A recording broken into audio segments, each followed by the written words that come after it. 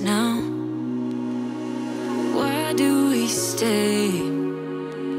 When I blame you for the things that weigh me down.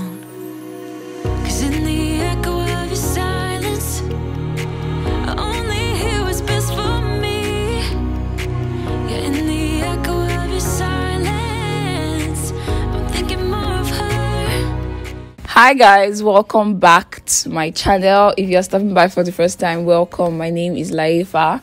So today's video is going to be on how to make this wig from start to finish and the hair is from Cynosure hair. So this is their loose wave hair. So this is 28 inches, 3 bundles and a 20 inch closure. So it's a normal regular closure. That's a 3 by 3 or is it the 4 by 4 It's the regular size though. So in this video, I'm going to be showing you guys how to make a closure wig and how to make it look like a mini frontal. So right here, Dobra, my sister, is the one making the wig. So you want to start with the closure.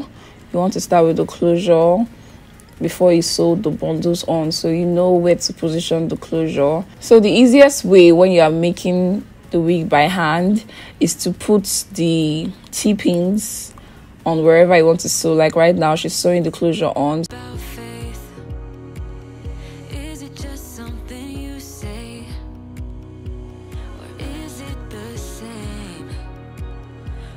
girl you texting when I look away.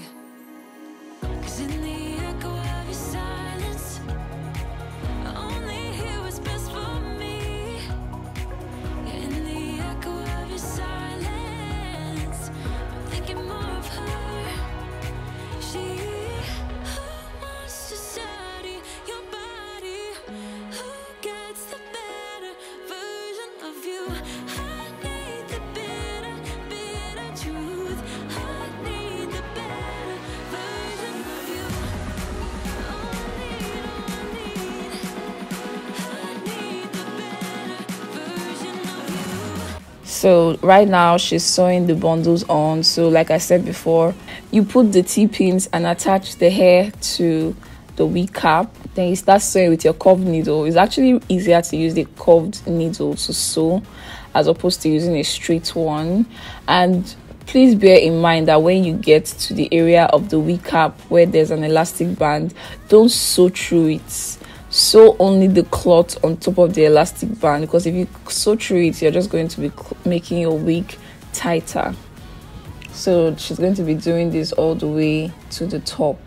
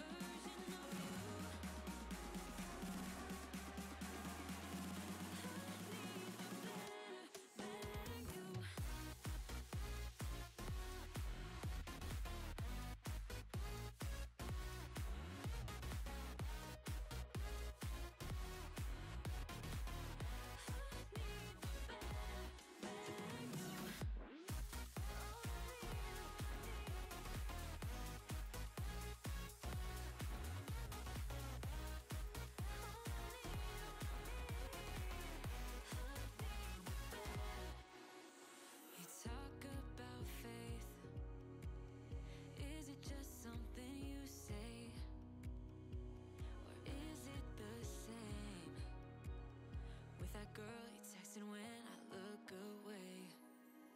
Cause in the echo of your silence, I only hear what's best for me. So now my sister is done with the wig, and right now I'm about to start plucking the hair. So, first things first, I'm making the hair into a middle part after making the hair into a middle part i'll take my tweezers part the hair. I usually don't pluck the first line of the hair. I start plucking from behind it. So you just take your time. This process took me like an hour, almost an hour. I usually take my time with plucking my hair because you don't want to make mistakes. If you're in a hurry, you'll make mistakes. You have holes in the hair, it won't be even. You just won't get a good job if you are in a hurry. So I took my time to pluck the frontal really well.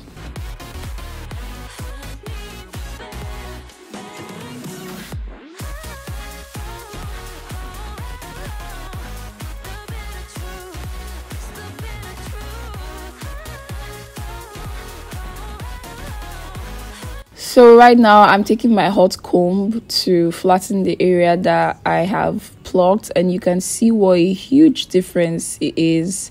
It's so much different from the other side that I haven't plucked. It made such a difference. So even if you don't have frontals, you can do this with your closure. So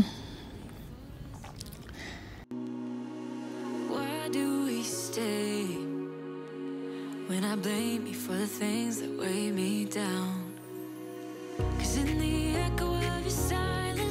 Now I'm done plucking both sides. I'm just taking my Lottabody lotion and applying it to lay the hair down.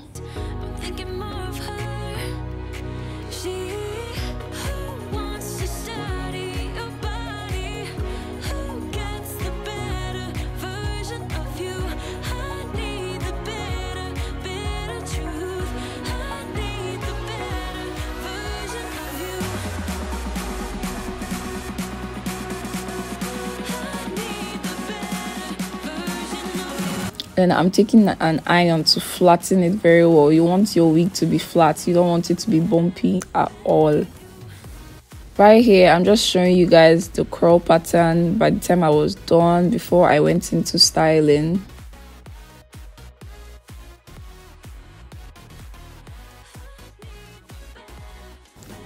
So now it's time to curl the hair.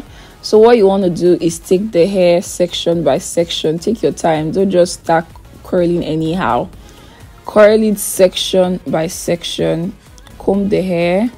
Take your hot comb, wrap it around, keep it there for a few seconds, then take a bobby pin or clips and clip it. I like to do this and leave it for a while so it can set and the curls will last longer.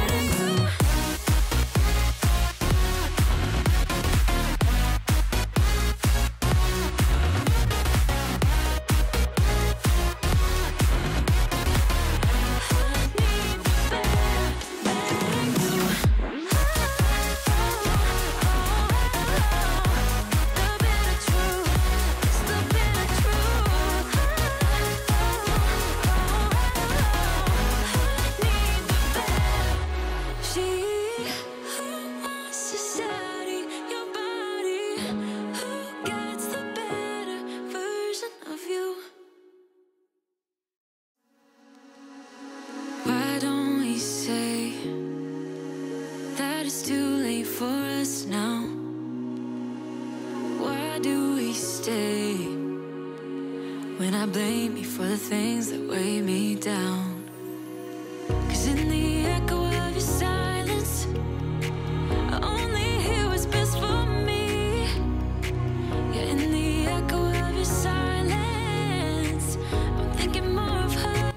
So, this is what the hair is looking like after Dora was done curling it so I left it for a couple hours and now I'm just letting the curls down removing all the tip all the bobby pins from the hair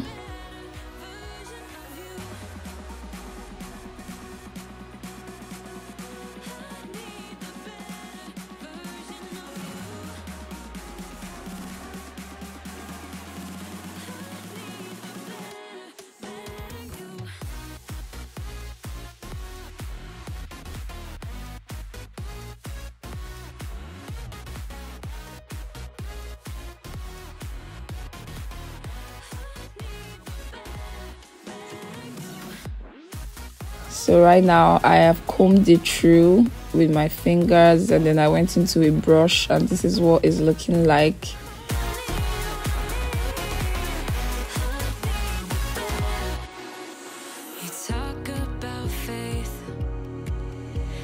So this is the model i'm going to be using today the beautiful wendy. So i just put a little bit of foundation on the lace so that I can match her skin tone. Then now I'm putting the wig on.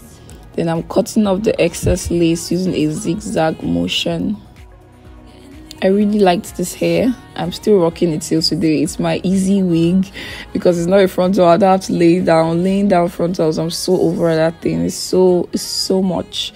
So this is just easier. So that is pretty much the end of this tutorial.